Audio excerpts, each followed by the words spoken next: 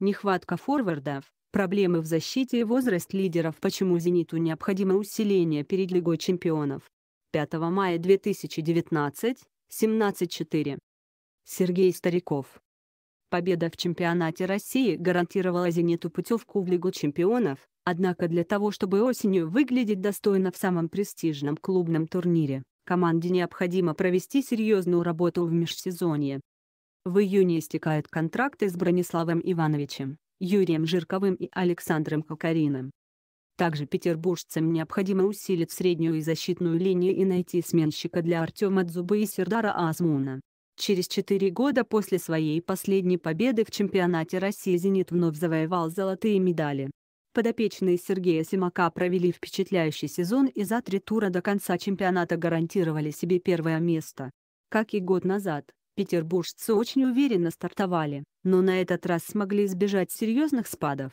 Во многом это заслуга главного тренера, который сумел найти индивидуальный подход к игрокам и сплотить команду. Немаловажным фактором стало мощное усиление состава, которое было проведено в зимний трансферный период. «Зенит» приобрел по исполнителю в каждую из линий. Так, коллектив пополнили защитник Ярослав Ракицкий, Хавбек Вильмар Бариос и форвард Сердар Азмун, ставшие важными игроками основы. Иранец быстро освоился в роли главного бомбардира и записал на свой счет 11 голов в 14 матчах. Украинец отметился четырьмя мячами, причем два из них были забиты во встречах с прямыми конкурентами – «Локомотивом» и «Краснодаром». Необходимо отметить, что накануне «Зенит» не только стал пятикратным чемпионом России, но и гарантировал себе путевку в групповой этап Лиги чемпионов, где он не выступал с сезона 2015-16. Тогда сине-бело-голубые пробились в одном восьми финала, где уступили Бенфики. Чтобы как минимум повторить тот результат, Команде необходимо плодотворно провести летний дозаявочный период. Уже сейчас петербуржцам нужно не только озаботиться продлением контрактов с нынешними лидерами, но и задуматься о приобретении игроков, уровень которых будет соответствовать выступлению в главном клубном турнире Старого Света. Празднование в самолете, в аэр-шоу аэропорта и поздравления от Туктамышевой. Как «Зенит» отмечал чемпионство в РПЛ «Зенит» впервые за четыре года стал чемпионом России по футболу. Празднование победы началось в самолете по пути из Грозного В. Также истекают контракты у старожилов, Юрия Жиркова и Александра Нюкова. Экс-футболист ЦСКА в нынешнем сезоне отметил 35-летие, но продолжает оставаться важным элементом команды. Из-за травмы он был вынужден пропустить первую половину сезона, но после возвращения застолбил за собой место в основе. Его коллега преимущественно выходил на замену, но почти всегда приносил пользу коллективу. Пожалуй, самой интересной остается ситуация вокруг Александра Кокарина. Как и у его партнеров, контракт форварда истекает 30 июня, но в свете его содержания под стражей «Зенит» может не решиться предложить ему новое соглашение. По предварительным данным, спортсмен должен пробыть в заключении минимум до сентября, и это не считая вердикта суда по делу о хулиганстве. Также подходит к концу контракт голкипера Михаила Киржакова и Леона Мусаева. Вряд ли стоит сомневаться в том, что петербуржцы решат сохранить в своем составе юного Хавбека. Что касается опытного голкипера, то «Зенит» не испытывает нехватки игроков этого амплуа. Уже летом из аренды вернутся Юрий Ладыгин и Егор Бабурин не соответствующие уровню в «Зените» много громких имен, но для успешного выступления в Лиге чемпионов команде предстоит усилить целый ряд позиций. Этот день наконец-то настал. Как в России отреагировали на победу «Зенита» в чемпионате страны успех «Зенита» в первенстве России по футболу. Это заслуга не только игроков, но и болельщиков клуба, заявил главный тренер.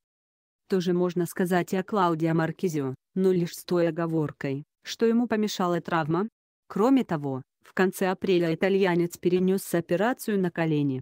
Он рискует не восстановиться к старту нового сезона. Предполагается, что его реабилитация продлится от 4 до 6 месяцев. Учитывая возраст спортсмена, «Зениту» вряд ли стоит серьезно рассчитывать на его возвращение в строй.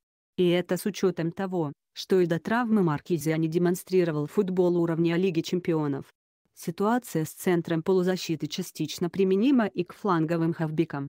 Но если слева себя неплохо проявлял Себастьян Дрюси, а в качестве замены выступал Олег Шатов, то справа ситуация обстоит немного хуже. Долгое время основным игроком считался Роберт Мак, но неровная игра не позволила ему стать лидером команды. Так, в национальном первенстве он провел 18 матчей, но отличился лишь единожды.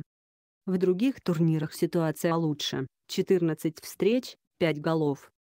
Поздняя Словака сменил вернувшийся из аренды Эмилиано Ригани. Аргентинец смотрелся чуть более успешно и в девяти матчах забил два мяча и отдал три результативные передачи. Но на данный момент эти результаты вряд ли способны убедить тренерский штаб в его незаменимости. Таким образом, «Зениту» стоит подумать о приобретении футболистов на эту позицию, причем имеет смысл обратить внимание на российский рынок. С учетом лимита на легионеров, а также большого количества иностранных игроков на всех других линиях покупка еще нескольких атлетов из-за рубежа может обернуться для команды серьезной проблемой. Нехватка исполнителей. Несмотря на продуктивность атакующей линии, она тоже нуждается в усилении перед стартом Лиги чемпионов. Последние полтора сезона показали, что Антон Заболотный не может усилить коллектив и на равных бороться с Артемом Дзубой за место в составе. Об этом свидетельствует лишь одно очко за результативность за 27 туров в РПЛ 166 проведенных на поле минут. Отсутствие Кокарина сильно ударило по вариативности «Зенита» в атаке, а исправить ситуацию получилось лишь с приобретением иранца. Безусловно, у Дзюбы и Азмуна получилась качественная атакующая связка, но в Европе команде будет сложно без плана «Б». Петербуржцам стоит задуматься над покупкой техничного и маневренного форварда, способного в нужный момент взять игру на себя и доставить мяч на атакующую линию. Требует усиления и центра обороны. Летом команду гарантированно покинет Луи Шнету, португалец вернется на родину, где будет выступать за спортинг. Таким образом, в распоряжении Симака останутся лишь трое футболистов, Иванович, Ракицкий и Эммануэль Мамена, который сначала пропустил большую часть сезона из-за травмы, а затем проиграл конкуренцию украинцу. Таким образом, если петербуржцам и не нужен игрок основного состава на эту позицию, то качественный сменщик практически необходим.